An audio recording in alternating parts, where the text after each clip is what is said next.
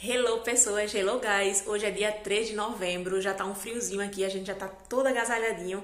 A temperatura tá entre 18, quando chega a noite cai para 14, então já tá realmente bastante frio aí tem que se prevenir desse frio. Gente, no vídeo de hoje eu vou mostrar para vocês a nossa realidade aqui em Portugal sobre o nosso custo de vida, os valores tudo certinho para vocês, uma média mensal para vocês terem mais ou menos a noção de gastos aqui de uma família, né, dois adultos e um bebê de dois anos, para vocês aí colocar no papel e ver mais ou menos, né, quem tá vindo morar por lado de cá já tem uma noção de custos a gente morando aqui em Lisboa, numa cidade né, chamada Amadora, que é bem próxima aqui da capital de Lisboa, do distrito de Lisboa. Então é isso, gente. Fica comigo até o final que vocês vão saber custo de feira, custo do nosso arrendamento aqui em Portugal, custo de passagem, custo de transporte, custo de gás, de água, de luz, de internet, celular que é o telemóvel, fica comigo que vocês vão ter aqui a conta fechada, né, a média mensal do quanto a gente está gastando por mês para essa família sobreviver aqui das contas básicas em Portugal. Antes disso, gente, eu vou mostrar para vocês como a gente tá se virando aqui nesse outono, né? Como eu disse para vocês, está um pouco frio, ou melhor, já está frio. Não chegou o inverno ainda, o inverno começa em dezembro, mas a gente já tá no outono aqui, na metade do outono, e o frio já tá batendo aí na porta. A gente tá tudo agasalhadinho aqui, ó, Vou mostrar para vocês para estender roupa aqui como é, já que a gente não tem quintal, não, não tem área de serviço. Meu apartamento no Brasil tinha uma pequena área de serviço que eu usava para estender roupa, mas também não era muito essa coisa. O apartamento era bem pequeno, né, como vocês sabem nos vídeos anteriores. É, aqui o apartamento é maior, tem 72 metros quadrados, então eu consigo ter um espaço aí para colocar um estendal de chão, já que lá fora não dá para secar. E a gente também usa a máquina de secar, só que eu não uso muitas vezes porque, né, para poupar energia, né? Eu sou aquela pessoa bem economista, então o que eu puder aí economizar de água, luz, gás, eu saio economizando. Então eu tô me virando aqui com o estendal de roupa que eu acho que é excelente para esse clima aqui chuvoso. Hoje o dia tá de chuva aqui, gente. Olha só. Ontem deu uma queda na temperatura, agora realmente eu acho que vai ficar cada dia mais frio. Então, a temperatura tá chegando hoje 18 graus e quando dá a noite baixa para 14. Eu acho que agora, né, vai ficar cada dia mais frio, de acordo com o passar o tempo aí, porque a gente já tá, o quê? Hoje já é novembro, né? Dia 3 de novembro, inverno já tá se aproximando aí. Acho que agora a temperatura, a tendência é baixar cada dia mais. Tá bem chuvoso, ó cinzento. Só chuva no dia de hoje. Deixa eu abrir aqui a janela. Ó, gente, nesse dia, né, a gente sabe que toda dona de casa gosta de dia de sol, mas hoje não é dia de sol, hoje é dia de chuva. O estendal da roupa fica aqui fora, ó. Pega da sala, que é ali, até aqui a cozinha. É bem grande, mas dia de chuva não dá para estender roupa. E aqui não tem área de serviço. O que me ajuda muito é essa máquina aqui de lavar roupa, lavar e secar, que eu já tinha uma dessa no Brasil, né? Por morar também em apartamento lá, a área de serviço era muito pequena, então ela ajuda muito, mas eu não ligo sempre porque leva muito tempo para secar. E aí, para poupar energia, né? Eu sempre fico alternando, né? Entre a máquina e o estendedor de roupa que eu comprei, né? Para usar aqui é, quando tiver esses dias de chuva. Vou mostrar então, pra vocês. gente, esse aqui é o Salvador da Pátria, ó. O estendal de roupa, né? De chão. Eu comprei por R$12,99 no Auchan que é um supermercado que tem aqui, e é ele que tem salvado nossas vidas. A gente não tem área de serviço, mas tem essa varandinha aqui que fica pro meu quarto, e aí serve para enxugar as roupas, né? Para eu também não utilizar sempre a máquina e poupar aí energia, eu tô usando esse estendal aqui, salva vidas. Já que a gente não tem um quintal, né? Uma casa para estender essas roupas.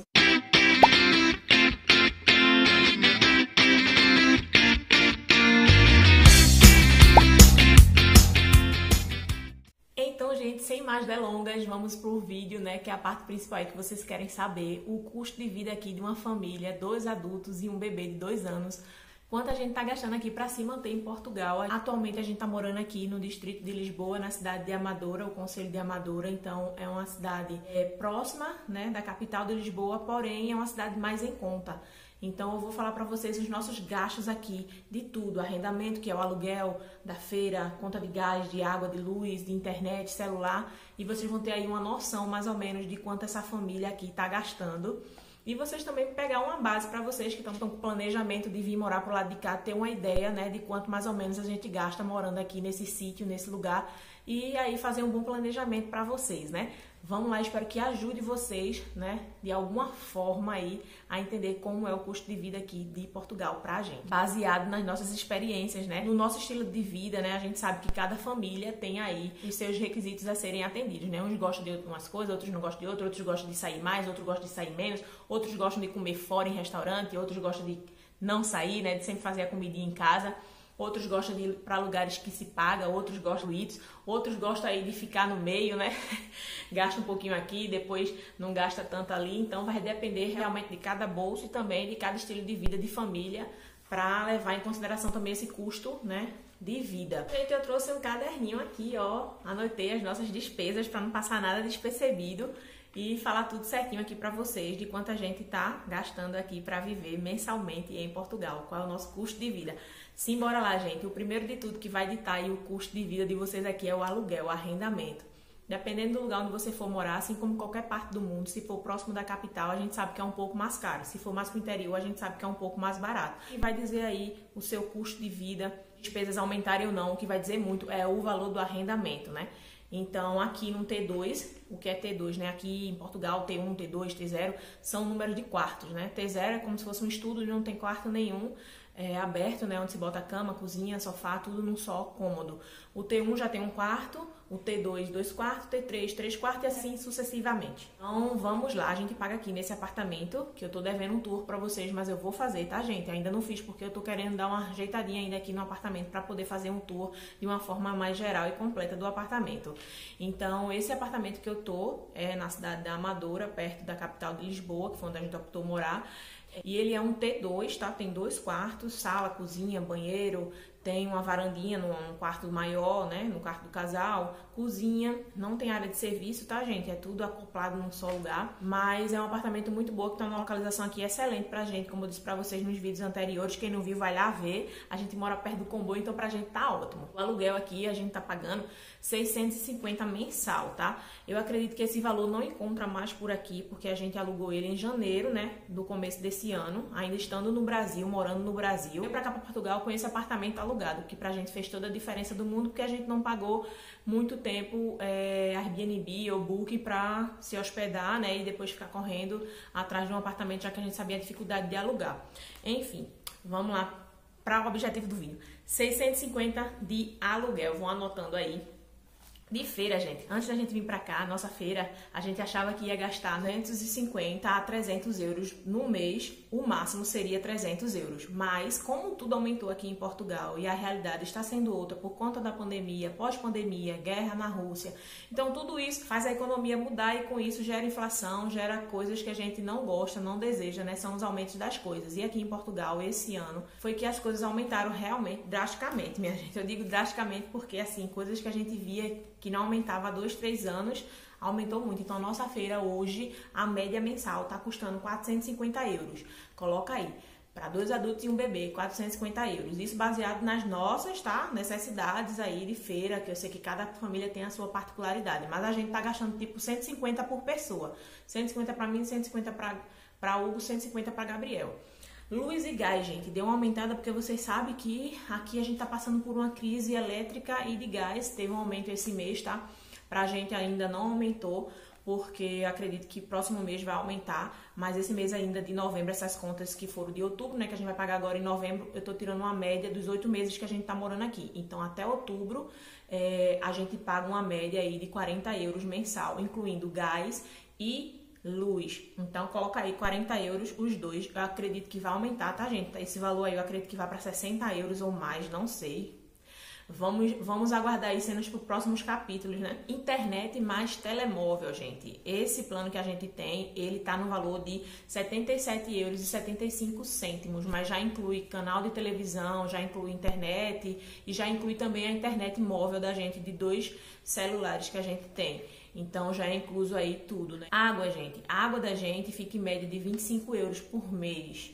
A gente paga em torno de 25 euros na água. Essa é a conta é, média mensal. Tem mês que vem 22, tem mês que vem 25, mas sempre fica nessa nessa jogada aí entre 22 e 25 euros mensais. Gente, agora vamos passar para transporte. Transporte É, a gente sabe que aqui tem um vale mensal, né, que é 40 euros por pessoa, que abrange aí toda a capital, né? A gente pode andar para qualquer parte aqui de Portugal e a gente andando de transporte público, de metro, comboio, é, autocarro, que é o ônibus, de barco, que também tem, né? A cidade é, de Almada, por exemplo, quem é de lá, vem muito de barco pro lado de cá, que é tipo uma balsa, né? Um transporte também coletivo, e usa sempre 40 euros para usar o mês todo aí, se passar ou se for menos, é 40 euros para tudo. Claro que tem os vales também é, esporádicos, né, que são a forma zap que você pode colocar de acordo com o que você for usar, mas tem esse mensal que é bem mais em conta, que você consegue aí usar quantos transporte for e só vai pagar 40 euros mensal. Eu coloquei aqui é, 50 euros pra gente, por quê? Porque a gente não sai muito de casa é, comparado a quem trabalha todo dia na rua. Então, como o Hugo trabalha home e eu ainda estou em casa, é, a gente não utiliza transporte público muito, né? E agora deu uma parada mais ainda porque a gente comprou o carro, então eu coloquei aqui pra gente, né? 50 euros de combustível, que é pro carro. A gente não chega a gastar tudo isso, a não ser que a gente vá para um lugar mais longe, visitar alguma coisa mais longe, a gente gasta um pouquinho mais de combustível, mas eu coloquei 50 euros aí realmente é, passando, porque a gente não tá gastando nem isso por mês de combustível no carro. O transporte é relativo, né, gente? Muita gente usa carro e transporte público, outros só usam transporte público, outros só usam carros, outros usam os dois. Então aí é relativo, eu coloquei uma média baseada na nossa família de 50 euros mensais. Então, gente, de despesa básica aí, básica para sobreviver, fechando aqui a ponta do lápis, deu 1.337 euros e 65 cêntimos. Isso de despesas básicas para sobreviver, que é alimentação, aluguel, contas né, de energia, de consumo, de gás, de água, de internet e transporte. Mas a gente sabe que tem outras coisas aí no meio, né, minha gente? Dentro aí das nossas despesas, que a gente não vive só de pagar conta, a gente também tem o nosso lazer. Existem outros custos, né, gente? Parcela de carro, o que você for comprar aqui, alguma coisa financiada, vai entrar nas suas despesas mensais também mas aí é relativo de família para família também. A gente também tem a parcela do carro, né, como eu falei para vocês, e tem outras coisas que vão acontecendo esporadicamente nas nossas vidas que a gente não sabe, né? Como esse mês mesmo entrou 20 euros, né, de remédio, que tem um plano de saúde também, né, que aí é relativo, cada família opta né, por ter ou não ter. A gente optou por ter e a gente paga mensal para mim e Gabriel, o, o plano de saúde dele, que é que se chama Seguro Saúde, é pela empresa, então a empresa que paga o dele e o da gente é por fora, é 44 euros e 90 cêntimos mensal para mim e para Gabriel, né? O plano aí completo para nós dois dá esse valor de 44,90. Então, gente, mas é, isso aqui são despesas à parte, que a gente sabe que não são despesas para a sobrevivência, né? São despesas realmente à parte. Para a sobrevivência foi aquele valor que eu falei para vocês 1.337,65. Arredondando, vamos colocar aí para 1.350 as despesas básicas aqui para sobreviver em Portugal. Isso vai variar realmente de acordo com o arrendamento, tá, gente? Do imóvel que você for alugar. Porque assim, tem gente que consegue alugar por 500, um T1. Tem gente que consegue alugar por 350, depende da cidade, por 400. Então, assim, vai depender muito. O que a gente está gastando de 1.350, o outro pode gastar 1.000 por conta do arrendamento, porque vai baixar aí 300 euros, 350, dependendo né, do que você esteja procurando e de onde você for morar.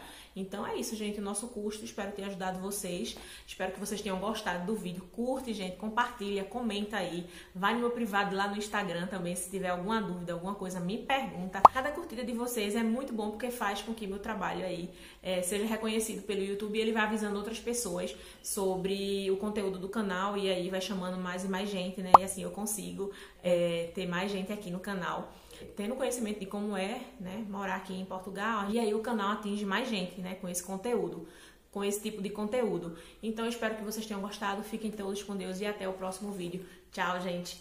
Beijos.